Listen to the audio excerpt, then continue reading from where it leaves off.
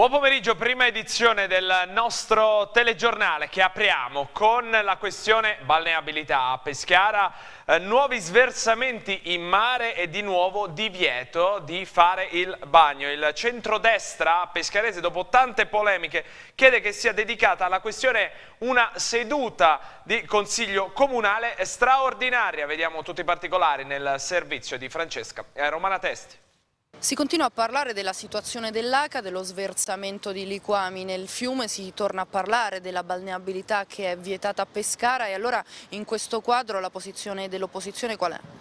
La posizione dell'opposizione è quella di aver richiesto subito un consiglio straordinario urgente proprio per discutere la questione e soprattutto per fare chiarezza su questa questione.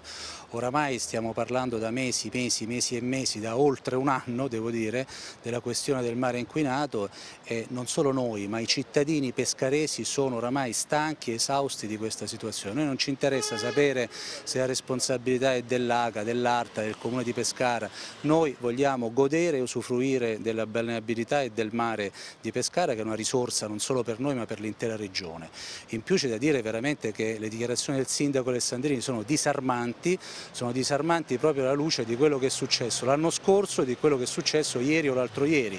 Per 20 minuti di sversamenti eh, eh, di liquami nel fiume, eh, dal, dal, fiume eh, nel mare nostro, il sindaco senza eh, attendere le analisi dell'ARTA ha disposto il divieto assoluto di balneazione, quando invece l'anno scorso per 17 o 18 ore di sversamenti di liquami non è stato fatto il divieto di balneazione, è stata data l'ordinanza di divieto di balneazione, quindi è veramente allucinante la posizione del sindaco e devo dire anche che la posizione del sindaco è indifendibile considerato che 20 giorni fa in sede di approvazione del bilancio all'assemblea dell'ACA il sindaco ha eh, votato per un rinvio sulle questioni attinenti al bilancio dove tra l'altro c'era anche il piano degli investimenti che l'ACA avrebbe dovuto fare. Questa mattina era in programma una seduta del Consiglio regionale, ma poco fa il Presidente del Consiglio Giuseppe Di Pangrazio ha comunicato che la seduta avrà inizio solamente alle ore 15, eh, seduta posticipata al pomeriggio, giustificata dal eh, lavoro prolungato della prima e della seconda eh, commissione. Eh, la prima commissione è quella eh, bilancio, la seconda commissione è quella eh, territorio. Ritrovata in un paesino della provincia di Chieti la giovane aquilana che era scomparsa sabato scorso, il servizio curato per noi da Giorgio Alessandri. Sta bene ed è stata ritrovata Valentina Timoncini, la 22enne residente nella frazione aquilana di Cese di Preturo, scomparsa nella notte tra venerdì e sabato scorsi. Si trovava a Monteferrante, in provincia di Chieti, dove sarebbe giunta da sola domenica pomeriggio. Dopo aver vagato per il paese, una signora anziana del luogo l'ha prima ospitata in casa e poi rifocillata, permettendole di passare la notte nella sua abitazione. Ieri mattina la notizia della ragazza che era stata ospitata dall'anziana ha fatto il giro del paese ed alcuni, dopo aver visto la sua foto sui media, hanno chiamato i carabinieri di bomba, coordinati dal comandante di stazione Vito Giallorenzo. Già in serata la 22enne avrebbe fatto ritorno a casa, accompagnata dai propri genitori. Prima di far perdere le sue tracce, aveva mandato un sms alla famiglia e al suo fidanzato con l'invito a non cercarla. Il telefonino poi era stato subito spento. La ragazza, che si era allontanata da casa dopo un litigio domestico, era andata via con un borsone. Nella mattinata le ricerche erano riprese in tutta la zona di Preturo, ma non si escludeva che la giovane avesse lasciato la città. La task force organizzata dai Vigili del Fuoco, coordinata dalla Prefettura, era stata allestita nei pressi di Villa Letizia a Preturo. Per i genitori e gli amici è di certo la fine di un'angoscia.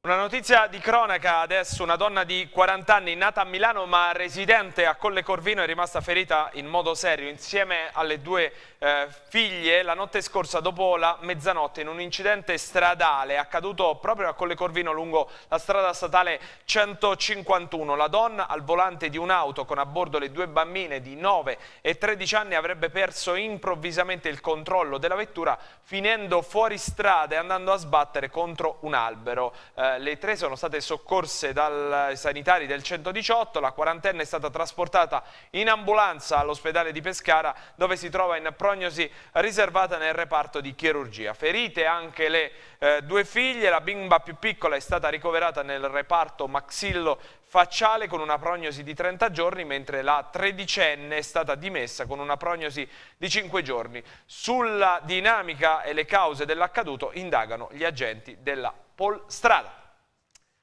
E lunedì sarà a Ferragosto e allora in vista della festività del 15, a seguito di quanto concordato in sede di Comitato Provinciale per l'Ordine e la Sicurezza, il prefetto di Teramo Graziella Patrizi ha inviato una direttiva a tutti i sindaci della provincia affinché sia realizzata un'opera congiunta dei diversi livelli di governo con un rafforzamento della collaborazione tra amministrazioni eh, centrali, istituzioni locali e collaborazione e società civile nell'ambito di un effettivo processo di sicurezza partecipata. Il prefetto Patrizi ha anche sottolineato l'esigenza di un rafforzamento dei moduli di coordinamento tra polizie locali, servizi sociali e associazioni di assistenza, con particolare attenzione al fenomeno della eh, movida che soprattutto nelle località eh, costiere potrebbe tradursi in situazioni di degrado ed illegalità, nonché al conseguente controllo sull'ottemperanza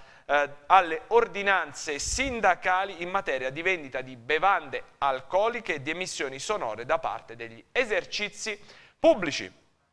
Cambiamo argomento adesso, la ripresa c'è e i dati sono confortanti. L'edilizia in provincia di Teramo inverte la tendenza negativa e fa segnare un più 5% nei salari. La cassa edile si attende una spinta dalla ricostruzione e dal master plan. Alfredo Primante. Segnali incoraggianti dall'edilizia in provincia di Teramo. Dopo otto anni di segno meno che hanno significato una perdita della metà della massa dei salari, 600 imprese in meno e 3.000 operai senza lavoro, il settore costruzioni torna a crescere con un incremento dei salari del 5%, un dato interessante se unito alla ripresa delle compravendite del settore immobiliare più 2,1%. La Cassa Edile auspica che la tendenza si confermi a fine 2016, ma affinché questo avvenga, spiega, bisognerà accelerare su tre punti fondamentali. Codice delle appalti che necessita di linee guida e decreti attuativi, spesa dei fondi per la ricostruzione post-sisma e avvio degli investimenti contenuti nel master plan. Noi ci auspichiamo e stiamo forzando da, da diversi anni che si parti a regime perché ci sono diversi centinaia di milioni di, di ricostruzione, tra privato e pubblico penso che si tocchi 300 milioni tra cratere, fuori cratere e enti pubblici. Proprio la ricostruzione che potrebbe insomma, dare una grossa mano, una grossa spinta a un settore che è stato eh, veramente distrutto dalla crisi. Guarda, la nostra provincia è l'unica salvezza. Questa piccola ripartenza che c'è stata è stata dovuta anche al reinvestimento degli enti pubblici hanno reinvestito sulla sicurezza delle scuole, sul, sulla reggimentazione delle acque e anche sugli impianti di depurazione, però chiaramente per la nostra provincia eh, la manna dal cielo sarebbe che partisse a pieni voti la, la ricostruzione. Aspettate qualcosa in più forse anche dal master plan della regione? Sì, io nel documento l'abbiamo citato, adesso non so la tempistica del master plan, però anche lì ci sono circa 100-120 milioni che dovrebbero arrivare in provincia. Ci auspichiamo che la cosa avvenga.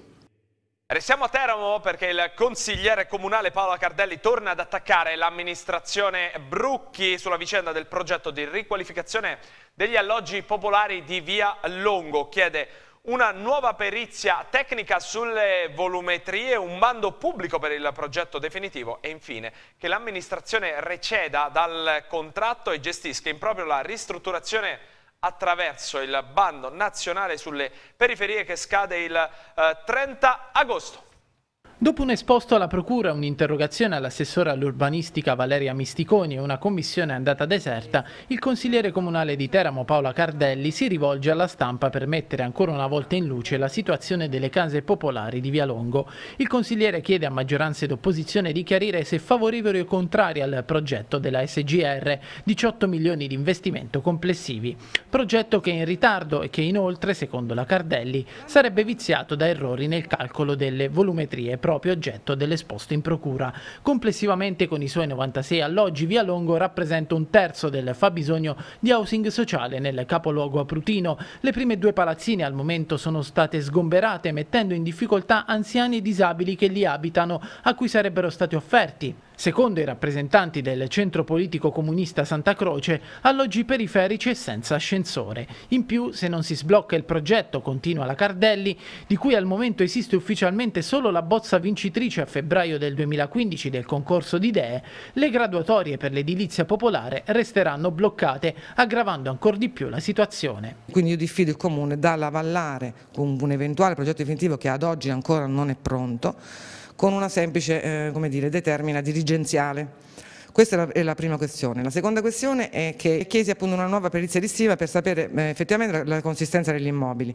L'assessore rispose che se ne sarebbe occupata l'SGR, ad oggi questa perizia di stima non è ancora disponibile, quindi io chiedo una nuova perizia di stima degli immobili. Infine una nota sulla variante Toto e sull'ipotesi di teleferica a Teramo. Secondo il consigliere comunale di minoranza sono progetti da contrastare senza mezzi termini utilizzando i fondi per mobilità sociale e salvaguardia dell'ambiente.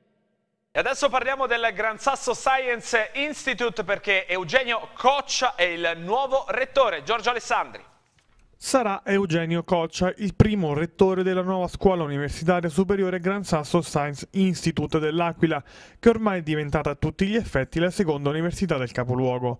La nomina, annunciata da giorni, è stata ufficializzata ieri ed è solo la prima di una serie che vedrà il GSI completare gli organi con un direttore generale, il consiglio d'amministrazione e il senato accademico. Coccia, 60 anni, già direttore dei laboratori nazionali del Gran Sasso, dell'Istituto Nazionale di Fisica Nucleare dal 2003 al 2009, ha guidato come direttore lo stesso Gran Sasso Science Institute nel triennio sperimentale dell'istituto, attivato all'Aquila nel 2013. Il neorettore comincerà il suo mandato dopo il decreto di nomina da parte del Ministero dell'Istruzione dell'Università della Ricerca Stefania Giannini.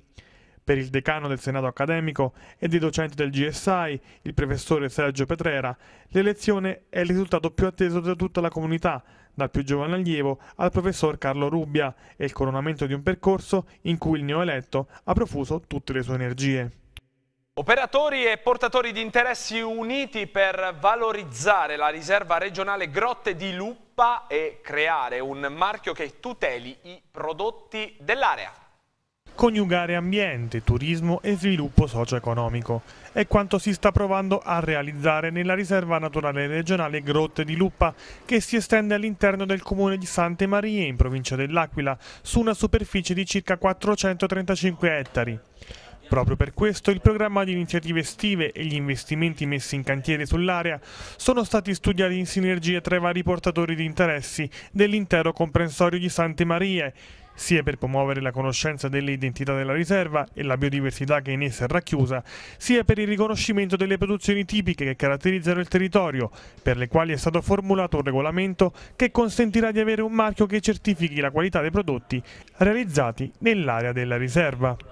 È una gestione piuttosto complessa perché parte da un dato di eh, infrastrutturazione materiale e immateriale il cui avvio è avvenuto solo nei mesi precedenti ma che già sta dando dei risultati, infatti la riserva ha diverse centinaia di visitatori che la percorrono e si sta dotando di tutti, quelli, eh, di tutti quei mezzi necessari all'erogazione di servizi quali quantitativi standardizzati sui massimi livelli abruzzesi e dei segmenti turistici che vengono attratti. È un un sistema complesso, è un sistema che ha bisogno ancora di tempo per essere rodato pienamente ma che si sta sviluppando secondo direttrici che sono quelle della Green Economy.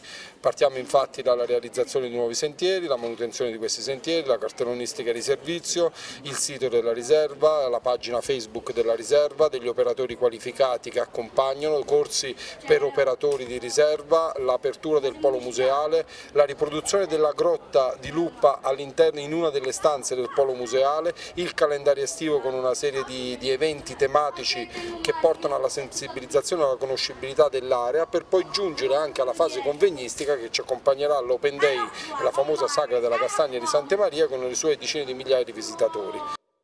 Saranno passi tratti da Shakespeare, i protagonisti della Notte delle Paure di Valle Castellana, dal domani fino al 14 agosto, teatro nel Bosco per celebrare i 400 anni dalla morte dello scrittore inglese.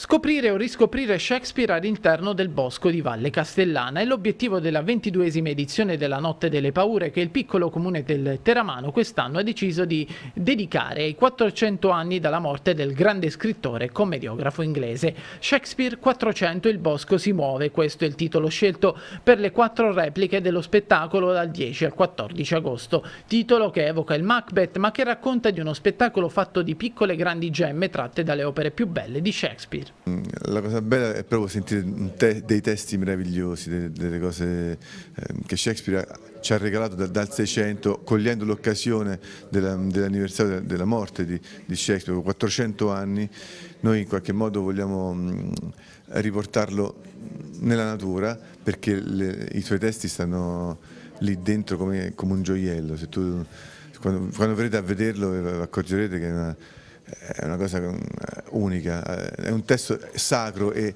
in qualche modo allo stesso tempo universale. Invito tutti a venire e a sceglierci, so che ce ne stanno tante di manifestazioni in giro, ma noi abbiamo qualche particolarità, se non altro quella ambientale che, è qualcosa di eccezionale. Appunto è un'occasione per scoprire anche il territorio, il circondario di Valle Castellana. Esatto. Eh, diciamo che il progetto della Notte delle Paure eh, prevede anche quello, quindi far conoscere il territorio, tra l'altro mi rifaccio anche un po' al film che è stato realizzato con l'edizione 2014 che io ho avuto modo di vedere con, in, in, anteprima e vi assicuro che è uno spot promozionale per il territorio favoloso che insomma, mi auguro che poi magari sia usato anche per altri scopi.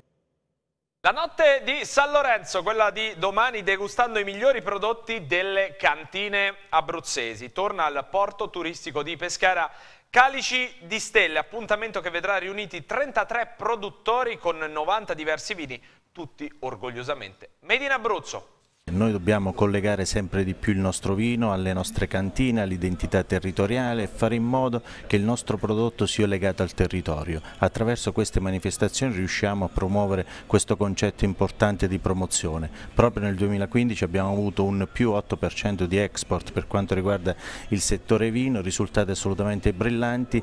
Il primo bando del piano di sviluppo rurale ha riguardato appunto la promozione, 1.200.000 euro a disposizione dei prodotti agricoli regionali, in particolare particolar modo il vino. Il cielo stellato della notte di San Lorenzo, la romantica cornice del porto turistico di Pescara, le melodie dei grandi classici della tradizione musicale italiana e al centro lui il vino abruzzese, questa l'atmosfera scelta dal movimento turismo del vino Abruzzo per l'evento intitolato Calici di Stelle. Una manifestazione che come Movimento Turismo Vino Abruzzo solitamente cerchiamo di portare le persone nelle nostre cantine, ovviamente in estate diventa difficile e questo bellissimo scenario di Pescara, della Marina del Porto di Pescara permette di fare sicuramente da attrazione ai turisti che sono presenti sul luogo e far assaggiare non solo i vini del nostro territorio ma anche alcuni prodotti tipici.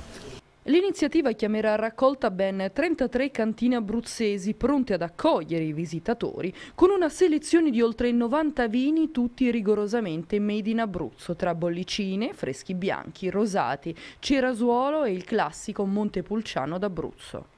Eh, Quest'anno ci sono altre novità, quindi oltre a degustazione vini con tutte le cantine, eh, si potrà degustare anche il vino tra cielo e mare eh, grazie a un armatore che ha messo a disposizione un catamarano Fiumare Abruzzo, quindi si potrà degustare anche il vino facendo una passeggiata in mare. Nella patria abruzzese della porchetta, a Campli, torna la sagra dedicata alla pietanza tipica che affonda le sue radici nei secoli. Tante le manifestazioni d'arte, sport e gastronomia a corollario della sagra. Andiamo a conoscerle nel servizio. Arte, storia e gastronomia, questo è il mix vincente della sagra più antica d'Abruzzo, nata nel 1964. La sagra della porchetta italica di Campli attrae ogni anno più di 100.000 persone che arrivano in provincia di Teramo per gustare un cibo antichissimo che affonda le sue radici nei secoli. Tanta storia e tanta arte che inizia dall'età del bronzo, l'allevamento del maiale come abbiamo visto nei reperti trovati nell'antico borgo di Coccioli. Poi pensiamo al 1200, 1300 quando eh, i maestri porchettai di Campri erano i più bravi e rinomati d'Abruzzo insieme a quelli di Ripateatina. Il 22 mm, agosto, ultimo giorno della sagra, c'è stata questa coincidenza eh, perché avevamo invitato il professor Sgarbi per la cittadinanza onoraria, ciò per ringraziarlo per quello che ha fatto sin d'ora per Campri perché voglio ricordare che grazie a lui abbiamo avuto un'opera molto importante, la Madonna del Latte di Giacomo Nacampli all'Expo. La sagra è anche un concorso per stabilire qual è la porchetta migliore. Lo scorso anno vinto dal maestro porchettaio Nicolino Mercuri. Come tutti gli anni è una giuria di qualità composta la prima sera da editori e giornalisti, la seconda sera da esperti enologi e anche da cuochi per cui insomma daremo la possibilità a tanti di poter giudicare la nostra porchetta insieme alla giuria popolare che comunque ha il suo peso molto importante. Tante anche le manifestazioni collaterali per un evento che può essere votato sul sito Italia Live che racchiude le più importanti manifestazioni italiane. Sì, diciamo che come ogni anno, è il terzo anno che l'associazione Monti Gemelli Bike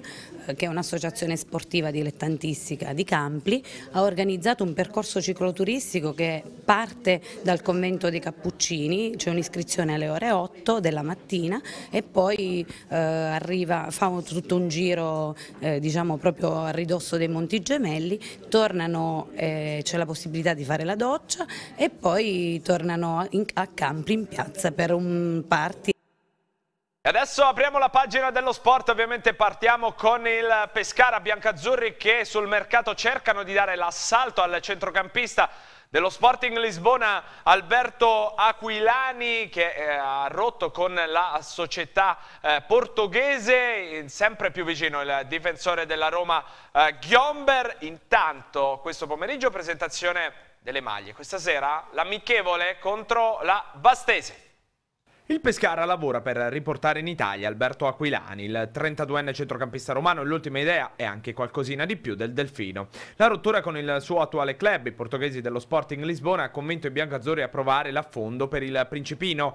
Cresciuto nelle giovanili della Roma, alle spalle di Daniele De Rossi, ha attraversato dal 2004 in poi il gota del calcio italiano. Ovviamente prima con i giallorossi, della prima era Luciano Spalletti, poi l'esperienza oltremanica, non proprio fortunata, con il Liverpool. Il ritorno in padre in prestito prima con la Juventus e poi il passaggio in rossonero con il Milan. La nuova giovinezza con la Fiorentina, tre stagioni, 81 presenze e 13 reti prima di emigrare di nuovo in Portogallo.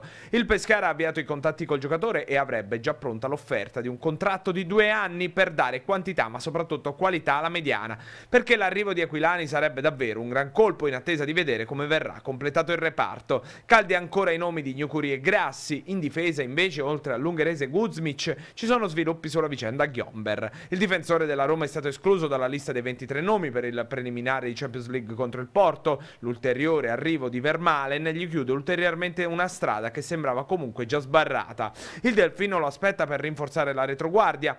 Oggi intanto giù il velo sulle nuove divise per la prossima stagione nella massima serie al Marina di Pescara, proprio poche ore prima dell'amichevole contro la Vastese neopromossa in Serie D.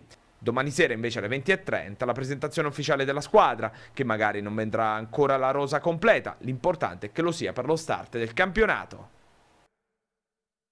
E a proposito di centrocampisti, abbiamo parlato di Aquilani, uno dei protagonisti della stagione scorsa, Benalì, è carico per poter essere protagonista anche nella massima serie. Si avvicina l'esordio di campionato, mancano ormai pochi giorni, si inizia a sentire bene lì la pressione della prima con il Napoli? No, sicuramente pressione no, perché eh, abbiamo preparato tutto, tutto, il ritiro, abbiamo lavorato come pazzi, eh, tre settimane di lavoro duro, quindi nessuna pressione, andiamo in campo eh, e divertiamoci come, come abbiamo fatto l'anno scorso prosegue la marcia di avvicinamento comunque al torneo, che Pescara in questo momento c'è e quali sono, volendo fare un gioco di percentuali, qual è la percentuale di preparazione del Pescara oggi? No, noi facciamo una partita alla volta, quindi eh, la prima partita c'è il Napoli e poi eh, il Sassuolo fuori, no? Quindi eh, ora cerchiamo di preparare il meglio, affrontare una squadra forte come il Napoli, poi eh, poi dopo quello pensiamo una, volta, una partita alla volta. Ci saranno ancora delle amichevoli, poi la gara di Coppa, eh, dunque una lenta marcia di avvicinamento verso la partita col Napoli, però si parla in queste ore, in questi giorni anche di mercato, anche voi aspettate ovviamente, ovviamente l'arrivo di qualche giocatore. No, eh, guarda, noi eh, non è una cosa nostra, quindi noi facciamo lavorare come hanno fatto sempre la società, eh, massima fiducia che qui sono arrivati giocatori importanti, arriveranno eh, ancora giocatori importanti, quindi noi eh, cerchiamo di, di fare tutto in campo e la società farà quello che deve fare fuori.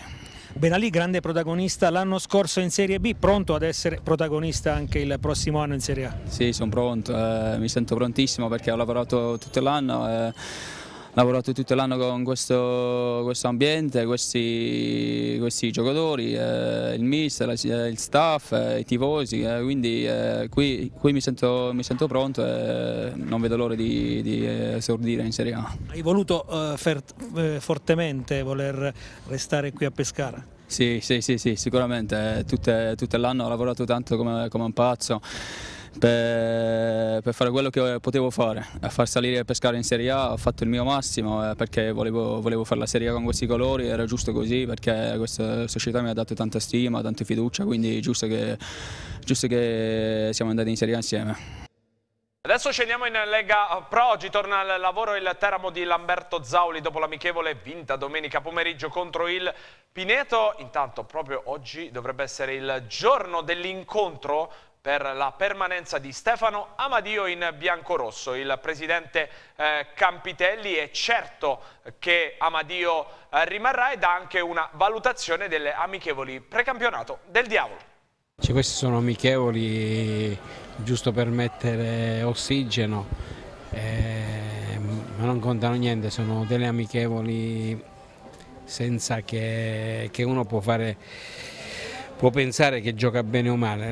Io credo che le, devono arrivare le partite vere per poter capire il Teramo mh, mm, quanto vale.